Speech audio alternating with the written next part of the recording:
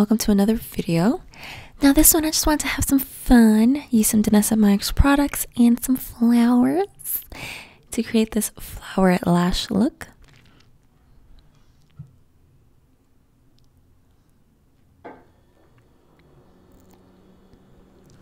So first we're going to use the Danessa Myricks number 4 and I'm going to pop that all over the lid And after that, because that ended up being a little pale, I mix in a little bit of the nude number six. So it's like a masking tone, kind of a concoction to blank out the lid space. Because remember, I'm doing a detailed liner look, so I'm not really adding much colored shadow onto the lid.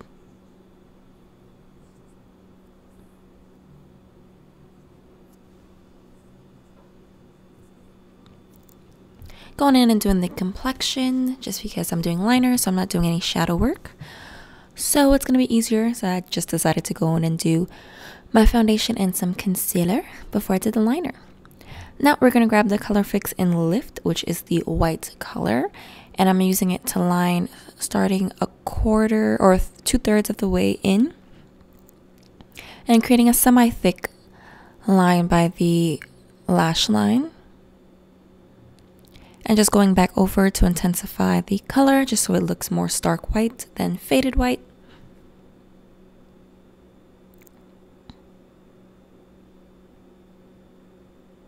Don't mind my mumbling, I was singing a song to myself as I concentrated to create this line.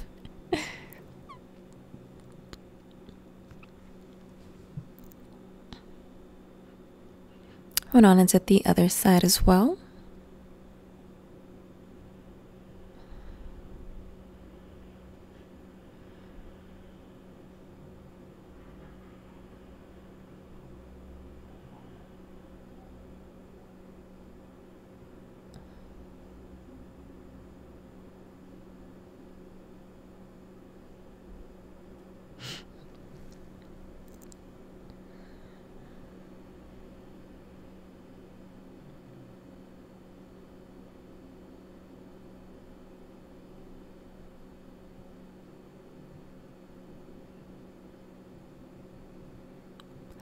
Then I'm going to kind of create this abstract shape following the natural curve of the inner corner of my eye with the same white.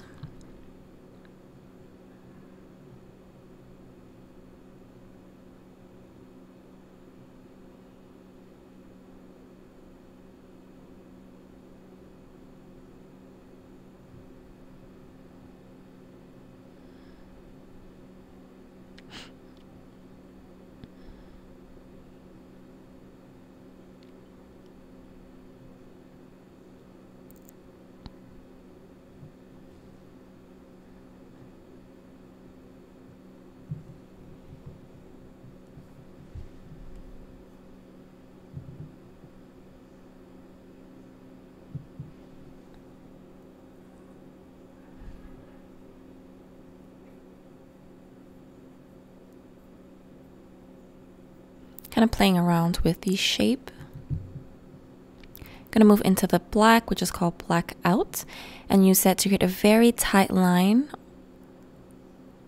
as close to the lash line as you can. And this is my first time using the Smith, I think it's a 202 brush, don't quote me, but it's a Smith skinny liner brush.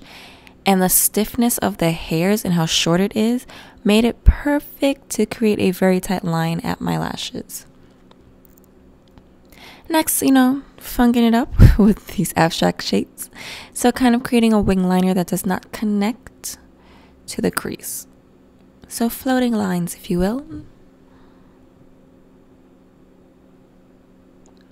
And then I used to do this a lot when I was working at MAC. I used to do random dots throughout my eye. So, we're going to bring it back for a little bit. So, random dots, two dots on the inner corner. Going with a little bit concealer.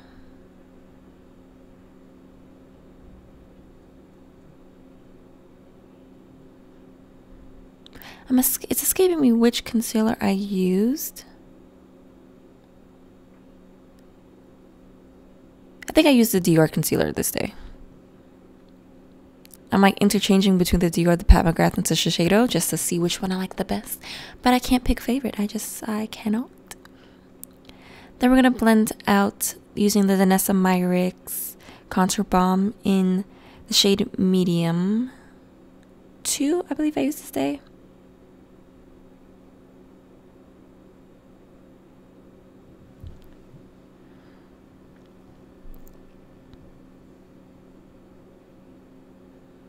Gonna go in with that palette and I mixed flamingo, fruit cocktail, and mango. So it's the baby pink, the hot pink, and the orange to create a very soft blush. And I kind of mix the colors, dab them each on the brush, you know, dabbed, and then mix them on the back of my palm like so. And it created this really pretty soft lip from within tone.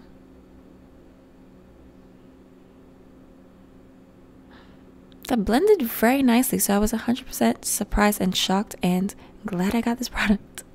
Gonna go in with the Anastasia Brow Powders. Fill in thy brows.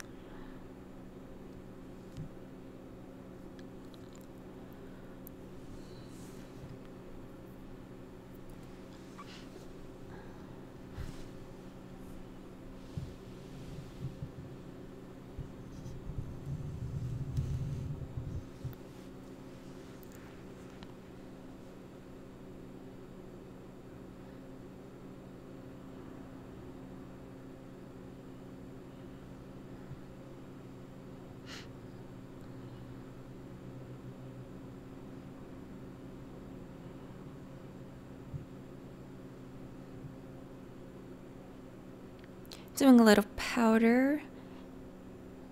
I believe I was just using the Laura Mercier Translucent Honey Powder here. I feel it's the same as the original, but because it's tinted yellow, works a little bit for my better for my complexion, you know.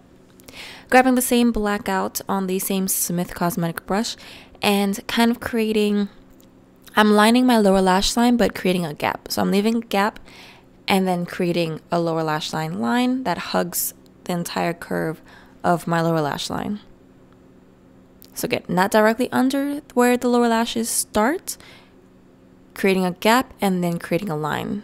So it kind of opens the eye underneath. Popping some mascaras on the top and bottom. We're gonna grab the blackout one more time and we're gonna use it as lipstick for this. So I did find that you have to put at least two coats just to make it super opaque black.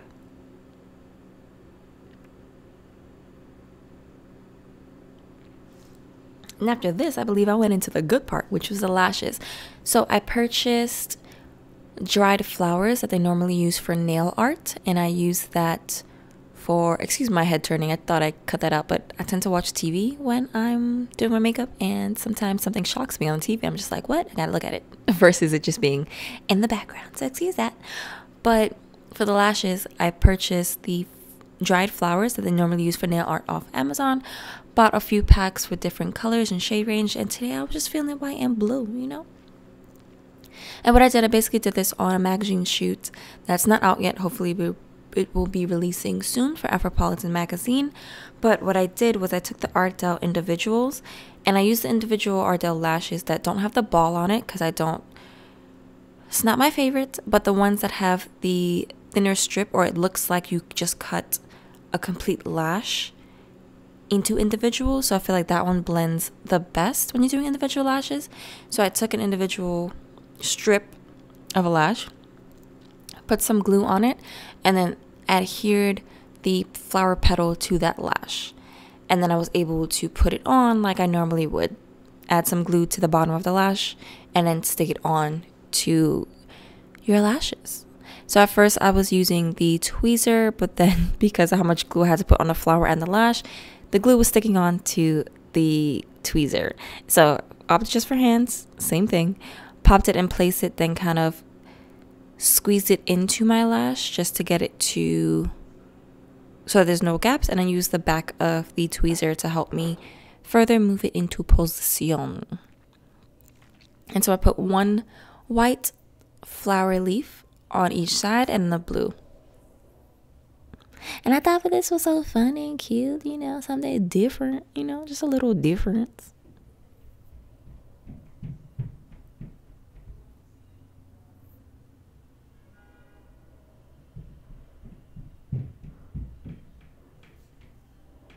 and see I'm doing my happy dance. Now I put both lashes on and I went in with a little bit of the Dew Wet Balm just because I was feeling this product this week. Like I forgot how good of a glow it gives. So it gives you a glow, but it's not greasy. It's just the perfect amount of shine, but it's colorless. So it doesn't disturb the product you have underneath. Then I took just a skinny brush just to apply. I believe this is Crazy For You. Danessa Myricks Twin Flames. Yes, it's Crazy For You. So it's like an iridescent green and gold. And I just wanted to play with another color because I used this on the last tutorial and I put on top of a black. So I want to see it on top of like a neutral base. So I just popped it on the inner corner of both eyes and it just gave me a little something extra. You know, a little something, something on this space. I just like the reflection that it gives.